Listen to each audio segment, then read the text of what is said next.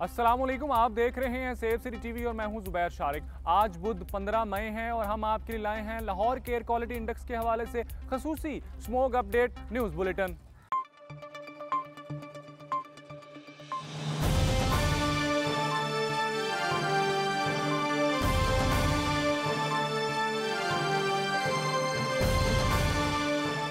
महकमा माहौलियात और safe city smoke radar के मुताबिक इस वक्त मजबूरी तौर पर लाहौर का एयर क्वालिटी इंडेक्स एक सौ पचपन है।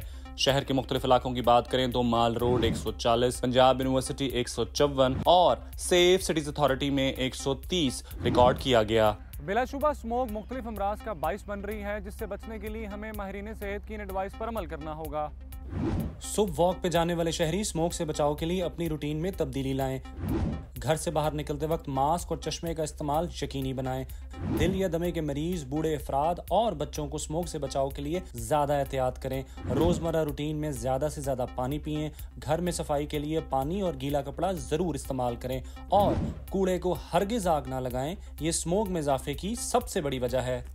आइए हम सब मिलकर अपने माहौल को साफ़ रखें और स्मोक फैलाने वालों की तलाब वन फाइव पे दें। साफ़ माहौल, महफूज लाहौर।